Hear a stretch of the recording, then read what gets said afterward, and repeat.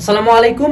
যদিও এই বিষয়টা নিয়ে আমার আসলে কথা বলার শোভা পায় না, কারণ আমি নিজেই এই ভিডিও টপিকের উপর ভিত্তি করেই বিজনেস করে খাই, বাস্তবতা এটা শুধু আমি না, বাংলাদেশের প্রত্যেকটা এডটেক প্ল্যাটফর্ম অনলাইন এবং অফলাইন সকল কোচিং সেন্টার এই ইমোশনটার উপর ভিত্তি করে বিজনেস করে। বাট তারপরেও যেহেতু আমার ছোটবেলা থেকেই যখন প্রতিষ্ঠান শুরু হয়, তখন থেকেই দায়িত্ব একটা ছিল যে কিছু সত্য কথা সবার সামনে তুলে ধরা। সো আজকের এই ভিডিওর আলোচনার বিষয় হলো যে অ্যাডমিশনেই কি সব? অর্থাৎ ভালো একটা ভার্সিটিতে চান্স পাইলেই কি সব? একটা কথা আছে যে আগে চান্স পেয়ে দেখান হ্যাঁ? এটা তো আমরা সবাই জানি, এটা অনলাইনে একটা কাইন্ড অফ মিম টাইপের একটা লাইন হ্যাঁ? তো, আসলে ভালো ভার্সিটি কতটুকু লাইফে রোল প্লে করে? এর ইফেক্টটা কতটুকু, বাস্তবতা কি বলে, দেশের অবস্থা কি বলে, সবকিছু না আজকের ভিডিওতে আলোচনা হবে। কোনো প্রমোশন থাকবে না। সো মনোযোগ সহকারে সবাই শুনবা, সাহস পাবা সামনে। সামনে আগানোর বা ব্যর্থ হইলে সাহস পাবা যে অ্যাডমিশনে কি, সব কিনা ওকে তো প্রথমে যে জিনিসটা মনে রাখতে হবে, সেটা হলো আমাদের আসলে ফিউচারে ভালো একটা বিশ্ববিদ্যালয় কতটুকু কাজে লাগে। যেমন দেখো, এখানে আমরা তিনটা লোগো ইউজ করছি। বুয়েট ডিএমসি ডিইউ অর্থাৎ গোটা বাংলাদেশের চোদ্দ লাখ এইচএসসি পরীক্ষার্থীর মধ্যে এখানে টোটালে আমাদের হার্ডলি এখানে ধরো সেটু সে তিন হাজার পড়ল, এখানে এক হাজার পড়ল, এখানে ধরো তিনশো পড়ল। সো মানে অ্যারাউন্ড ফোর পয়েন্ট ফাইভ কে যদি রাউন্ড ফিগারে ধরি, সাড়ে চার হাজার মানুষজন প্রতি বছরই টপ টিয়ার তিনটাতে ঢুকতে পারে, সব পাবলিক মিলায়। That number goes to around twenty to thirty K, অর্থাৎ বিশ থেকে তিরিশ হাজার মানুষজন প্রতি বছর পাবলিকে পড়ে, হুম? এবং এই তিনটাকে সর্বাধিক গ্লোরিফাই করা হয়। এখন কথা হলো যে ভবিষ্যতের জন্য একটা ভালো বিশ্ববিদ্যালয় কতটা গুরুত্বপূর্ণ? কতটা? আমরা যদি একদম মানে হাইয়েস্ট র্যাঙ্কিং এ ফেলাই যে না, একদম বিশ্ববিদ্যালয় যদি মোস্ট ইম্পর্টেন্স বুঝাতে চাই সেটা হলো ভবিষ্যতের ক্ষেত্রে এটার ভূমিকা সর্বোচ্চ যদি বলি, এটা হলো সর্বোচ্চ ফিফটি পার্সেন্ট কেন? এরকম অসংখ্য স্টুডেন্ট আছে যারা ঢাবি থেকে বের হয়ে কমপ্লিট বেকার। এক, দুই বছর না, চার, পাঁচ বছর, ছয় বছর ধরে বেকার। এমন অসংখ্য ডিএমসিতে পড়া স্টুডেন্ট আছে যারা এখনও সবগুলা প্রফ ক্লিয়ার করতে পারে না ইন্টারনি পড়ার কথা। এমন অনেক অসংখ্য ডাক্তার আছে যারা ইন্টারনি কমপ্লিট করছে এমবিবিএস ডিগ্রি ধারে বাট এখনও এফ এফসিপিএস বিসিএস বাকি বেশ কয়েকটা ডিগ্রির জন্য তারা পড়তেছে। অর্থাৎ দে আর নট ইনকাম অনেক বেশি করতেছে না যে না, একেবারে চেম্বার টেম্বার খুলে লাল্লাম এমন অনেক বুয়েটিয়ান আছে যারা অ্যাকচুয়ালি মানে বের হওয়ার সাথে সাথেই মাল্টি ন্যাশনাল কোম্পানিতে জব বের হওয়ার সাথে সাথে গুগল ফেসবুকে চলে গেল বা বাইরে স্কলারশিপ নিয়ে চলে গেল, এমন না। এমন অনেক বুয়েটিয়ান আছে যারা পাশ করার পরে around three to four years ধরে they are trying for government jobs or non government jobs ঠিক আছে? অসংখ্য উদাহরণ এই টপ তিনটাতে আছে। যদি টপ তিনটারই এই রিয়ালিটি হয়, তার মানে আদার পাবলিকস আদার যে পাবলিক বিশ্ববিদ্যালয়গুলো আছে, এগুলো থেকে এই যে ফেইলিওর রেটটা আরও বেশি। অর্থাৎ কোনো একটা পাবলিকে চান্স পাইলে এরকম কোনো সার্টিফিকেট আমাকে প্রদান করা হয় না যে আমি বের হয়েই একটা জব ল্যান্ড করব, বের হয়েই টাকা কামাবো, দুই হাত ভর্তি করে, আমার জন্য চাকরি নিয়ে বসে আছে মানুষজন, এমন কোনো প্রকার কোনো সম্ভাবনা নাই। তাইলে আসলে ভার্সিটি কেন লাগে? কারণ এটা একটা অনেক বড় স্টেপিং স্টোন প্রথমে হলো আমাদের পিআর সেকেন্ড হলো আমাদের অ্যালামনাই থার্ড হলো আমাদের এনভায়রনমেন্ট যেমন আমি বুয়েটে পড়ব বা বুয়েটে আমি ক্লাস করতেছি, আমার আশপাশে যারা আছে সবাই বুয়েটিয়ান, সবাই টপ ক্যালিবার একটা চিন্তাধারা নিয়ে আসে। যেমন ঢাবিতে, ছাত্র রাজনীতির আতুর ঘর কেন বলা হয়? কারণ এখান থেকে বাংলাদেশের প্রায় সবগুলা প্রেসিডেন্ট সবগুলা বড় বড় রাজনীতি বের হয়েছে। আমার আশপাশের মানুষজনের থিঙ্কিং তাদের লাইফ গোলস ওরকম। ডিএমসি বাংলাদেশের সবচেয়ে বড় বড় জায়গার ডাক্তাররা এখানে আছে। সো আমার আশপাশে যে সকল মেডিকেলে পড়ুয়ারা আছে, তারা থট লেভেলটা ওই জায়গাটাতে রাখছে আমি এই জায়গায় যাইতে চাই। সো আমার আশপাশে যখন দশটা খারাপ স্টুডেন্ট থাকে, আমি এগারো নম্বর খারাপ স্টুডেন্টটা হব। আমার আশপাশে দশটা হুজুর বা ইমানদার লোক থাকলে আমি এগারো নম্বর ইমানদারটা হব, ঠিক তেমনি আমার আশপাশে সবাই যখন লাইফ নিয়ে হাইলি অ্যাম্বিশাস হবে, যেটাই বড় বড় পাবলিক বা ভালো প্রতিষ্ঠানগুলোর হয়, আমিও অ্যাম্বিশাস হব।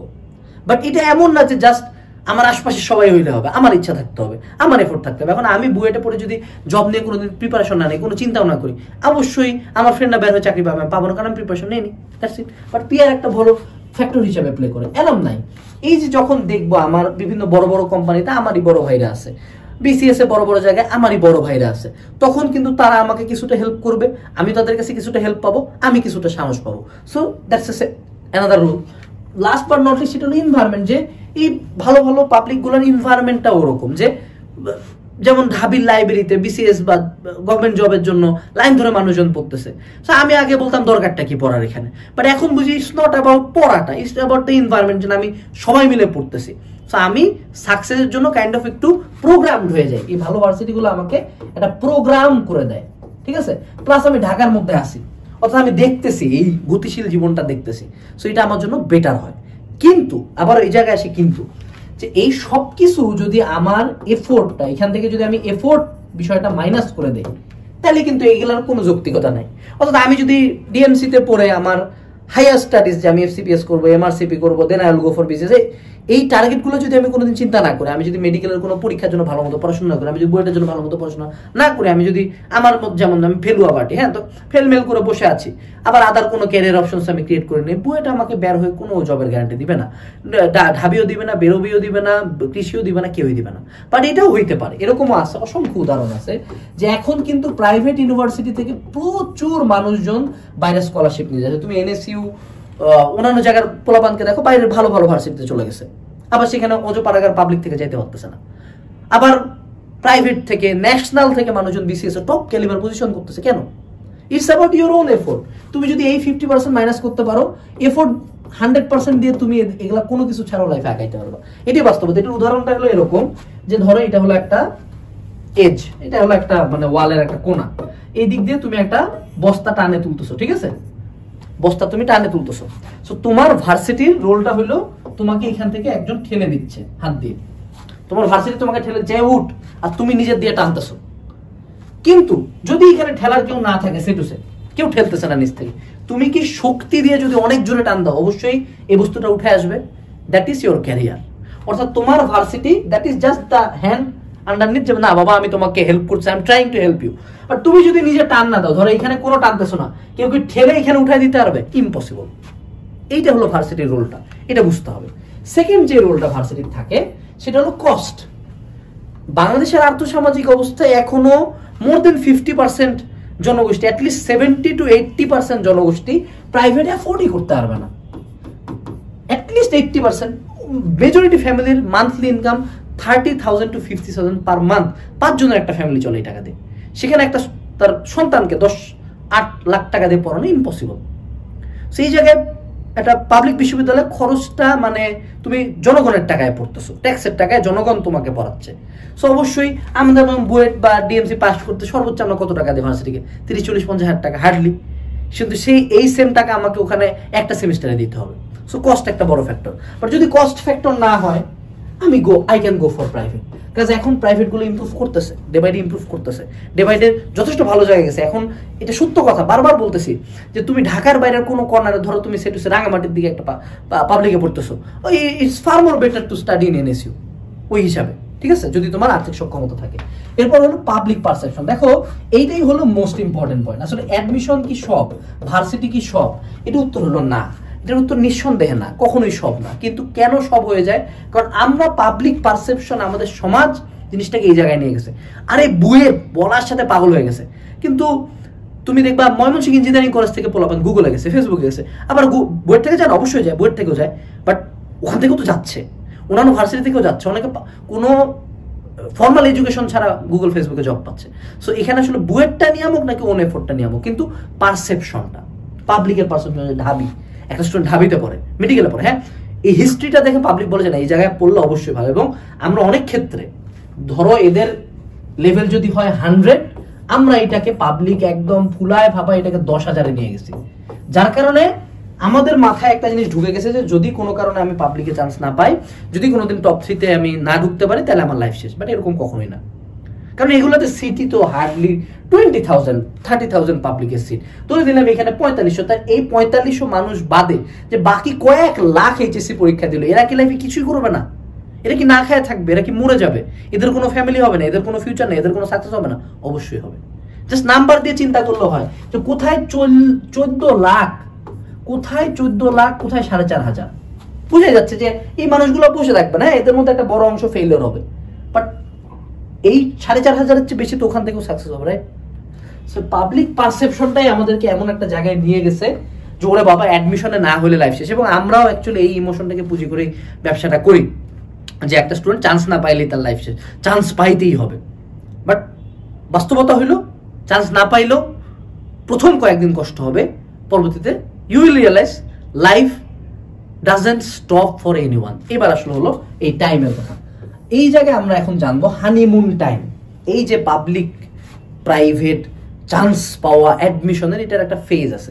এটাকে আমরা বলি হানিমুন ফেজ তুমি যারা চান্স পাই এটা হলো চান্স পাওয়া পাবলিকরা রিলেট করবে, যারা ভার্সিটিতে পড়ে হ্যাঁ? চান্স পাওয়া পাবলিকরা এটা রিলেট করতে পারবে।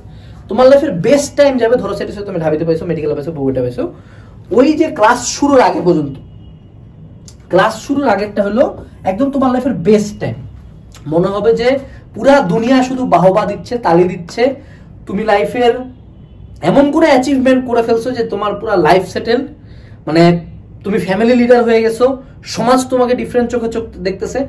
আমরা আসলে যখন যেমন একটা ফিলিংসে থাকি, দুনিয়া আমাদের কাছে ওরকম লাগে। তো তখন মনে হবে you are top of the world ঠিক আছে? ক্লাসের আগে পর্যন্ত। এরপরে যখন ক্লাস শুরু হইল এবং পুরা, এটা হলো ফেজ টু ফেজ টুতেও তুমি পুরা লেভেল ওয়ান অর্থাৎ ভার্সিটির প্রথম বছরটা তুমি থাকবে একদম ফুল ফাপড়ে। আরে মুই কি হুঁ মুই বুয়ে। মুই ঢাবে। একেবারে বুক এরকম হয়ে যায়, চওড়া হইতে হইতে হ্যাঁ? মানে একদম মানে কাউকে গুলি না কে রে? হ্যাঁ? এটা চলে। প্রথম বছরটা চলে। কারণ প্রথম বছরটাতে পড়াশোনার প্রেশার থাকে, ঠিক আছে? কিন্তু ততক্ষণ পর্যন্ত পাবলিক বাহবা দিচ্ছে। ভেরি গুড নতুন জুনিয়র আসতেছে। Very good okay interacting campus mob mob nights তারপরে নাচানাচি ফেস্ট ক্লাবস অল ওকে চলতেছে, সুন্দর চলতেছে অল ওকে এইবার আসবে ফেস থ্রি এইখানে এখন reality starts to kick in তুমি ভার্সিটির সেকেন্ড ইয়ার বিশেষ করে থার্ড ইয়ারে যায়, তুমি রিয়েলাইজ করবা এটা এতটা মজা ছিল না।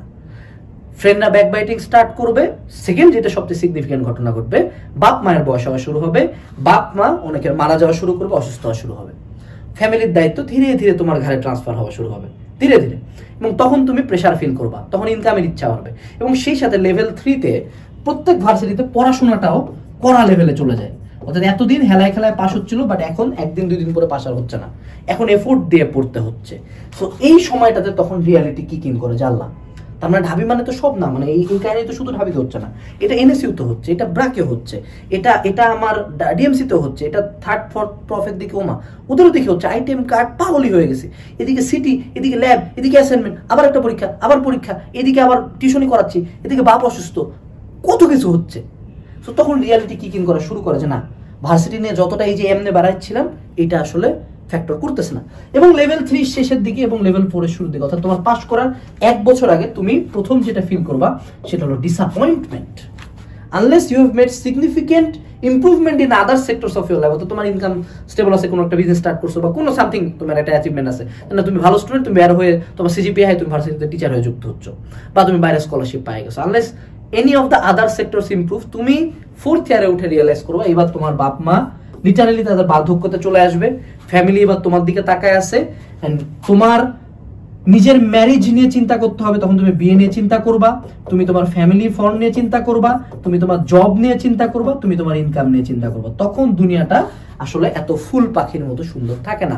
এবং যেই মানুষটা খুব হ্যাপি হয়ে চান্স পাই ঢুকছিলা, সেই মানুষটা এখন হয়ে যাবে ডিপ্রেসড অ্যান্ড তুমি কন্টিনিউয়াসলি টেন্স থাকবা যে কীভাবে একটা চাকরি পাবো, কীভাবে আমি দায়িত্বটা নিব।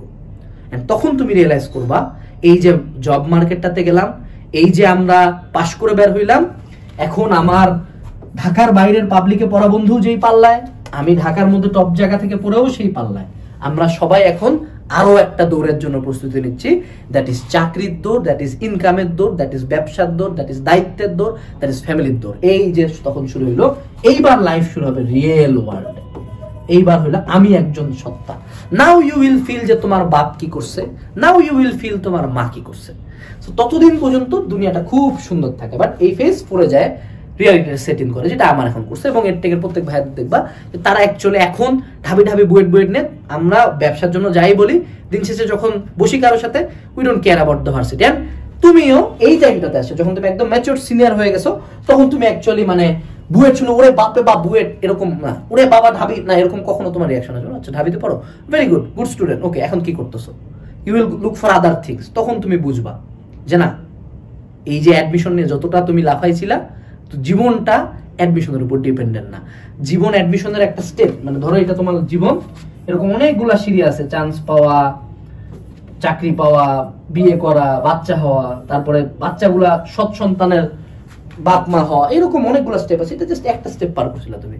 বাট তোমাকে দুনিয়া দেখাই দিছে না, তুমি ওখানে চলে গেছো, না। এইবার আসো। হোয়াট শুড ইউ ডু মানে তোমার আসলে কি করা উচিত? অ্যাডমিশন নিয়ে তো অনেক কথা বললাম। তোমার যেটা করা উচিত ট্রাই ইউর বেস্ট দেখো এটা অবশ্যই একটা সিঁড়ি। এক সিঁড়ি উপরে উঠলে অবশ্যই আমার জন্য ভালো। এখানে যতগুলো লেভারেজ বললাম, অবশ্যই আমার পাইলে ভালো। অবশ্যই ঢাবিতে পড়া বেটার অবশ্যই বুয়েটে পড়া বেটার অবশ্যই ডিএমসিতে পড়া বেটার বাট এমন না যে যদি কোনোদিন আমি চান্স না পাই, আমি মরে যাব। যদি কোনোদিন আমি চান্স না পাই, আমি লাইফ ডিস্ট্রয় হয়ে গেল যদি কোনোদিন আমি চান্স না পাই, আমার লাইফের নেক্সট কোনো স্টোরি নাই। যদি কোনোদিন আমি চান্স না পাই, এমন কোনোদিনই হবে না যে আমি লাইফের সামনে আর কোনো সাকসেসের স্টোরি শুনাইতে পারব না। সাকসেসের স্টোরি ঢাবি বুয়েট মেডিকেল থেকে যতটা তৈরি হয়, ঠিক তার সমান বা তার চেয়েও বেশি তার বাইরে থেকে তৈরি হয়। এটা মনে রাখবা। সো কি করবা? Move on move on without regret এই জন্য বলছি বেস্ট ট্রাই করতে। কারণ তুমি যদি এমন হয় যে না অ্যাডমিশন টাইমে হেলায় খেলায় পার করছ, তুমি যতদিন পর্যন্ত এই ফেস ফোর রিচ না করো, ততদিন পর্যন্ত তোমার মনে রিগ্রেট থাকবে।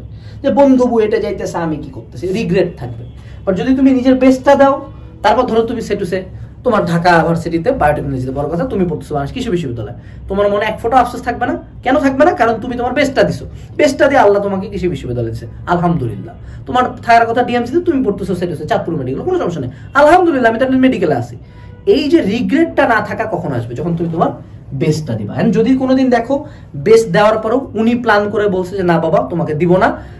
তুমি শিওর থাকো, উনার প্ল্যান এতটা নিখুঁত উনি কখন কি তোমাকে দিবে ইউ হ্যাভ নো আইডিয়া উনি অবশ্যই যা করছে that is for your own best so উনার প্ল্যানটা মাথায় রাখে অলওয়েজ নিজের ইম্প্রুভমেন্টের জন্য কাজ করে যাও, দেখবা আল্লাহ তোমাকে বুয়েট দেয় নাই এমন কিছু দিছে যেটা অ্যাকচুয়ালি বুয়েট দিতে পারতো না।